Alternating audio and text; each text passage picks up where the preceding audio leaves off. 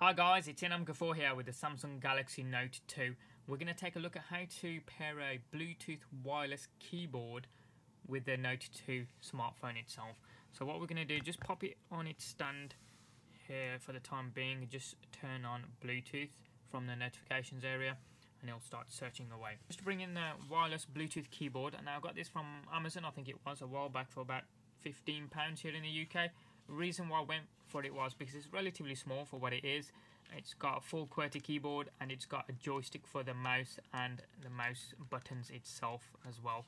So what we're going to do is, as that's searching away, I'm just going to press the ID button in the back of this device itself, uh, just with a pin, so that it's uh, transmitting itself or making itself available. There you go, it says pairing there and available devices showing as being Bluetooth keypad or keyboard there.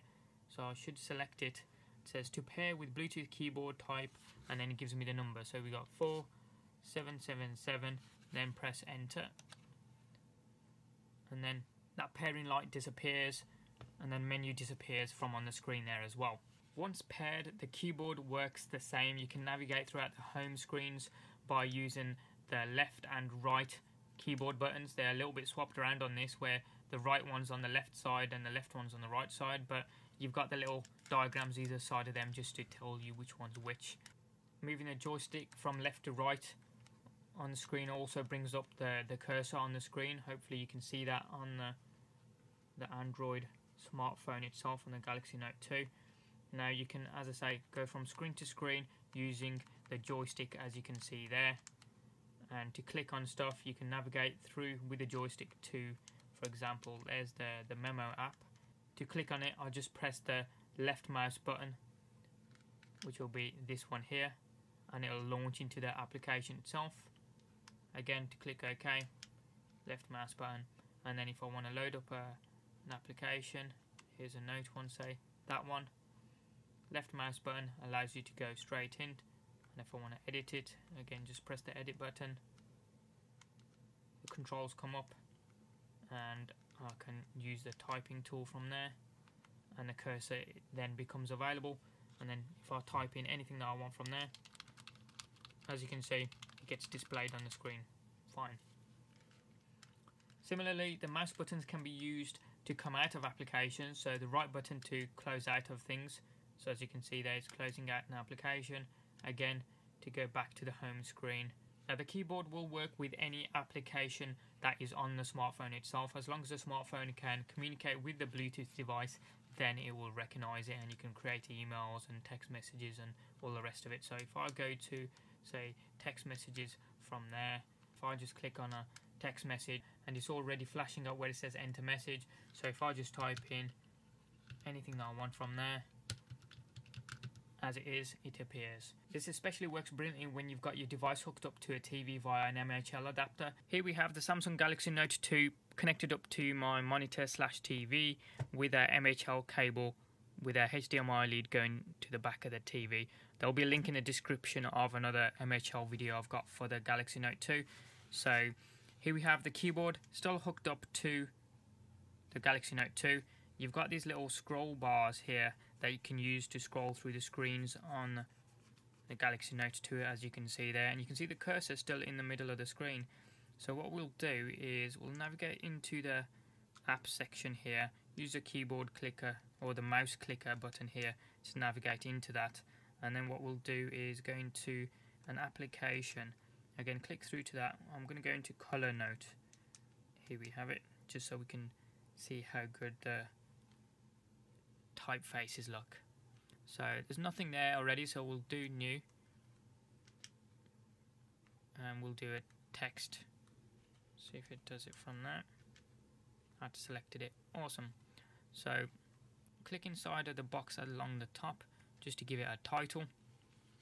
I'm going to type in there just demo. So you can see the D's already in there.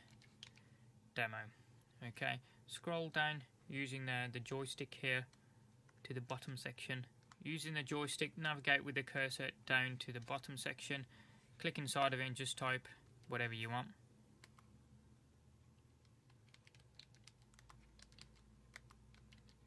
Whoops. world is ending. Here we go, via the keypad. And you can navigate using the arrow keys as well. So if I want to come out of it, just press the back button on the, the keyboard clicker here. And then it automatically saves it, as you can see there. Getting back again. just takes you back. It's the equivalent of pressing the back button on the Note 2 itself. So, press that there. And as I said previously, you can use the slider along the top right of the keypad to navigate throughout the various home screens fairly quickly as you can see there. Now while we're here, use the arrow buttons. You'll notice a yellow line or a yellow cube around the icons. You can navigate via the cursor as well.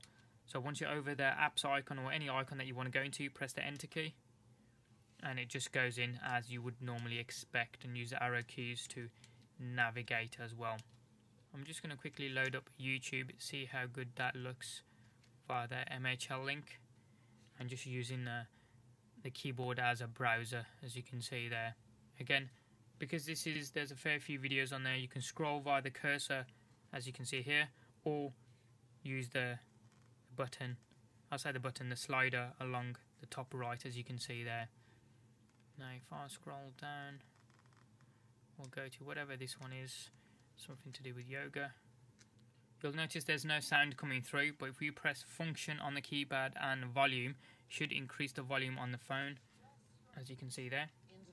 And then the phone starts playing the audio through the TV itself.